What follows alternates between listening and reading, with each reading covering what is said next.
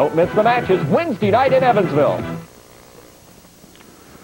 Oh, the taste of revenge. How sweet it is. Jerry Lawler, you put me in the hospital. The doctors didn't even know if I'd wrestle again. I had a concussion, compressed vertebrae. I came out to tell the people my side of the story. When you heard that if I took a blow to my head might kill me, first thing you did was come out and slap me. Well, my friend, I showed the people I got revenge, but I'm not finished yet. I kicked your tail from one side of that arena to the other, but I'm not done yet. You bring that fat Ronnie Gossett on down. I'll super kick him, and when I'm done, Jerry, I'm going to go through you like a freight train because we're even now, but I'm going to be one up on you, Jerry Lawler. No way, no way are you going to be one up on me, my friend. I will have revenge, Jerry Lawler. I will have revenge on you. The king is going down. If Chris Champion has anything to do with it, my friend, you try to take me out of wrestling, you try to take my life, Jerry. It's gone beyond wrestling. It's a fight now, my friend, and every time I get within his arm's length, to you. That's what it's going to be. A fight, Jerry Lawler.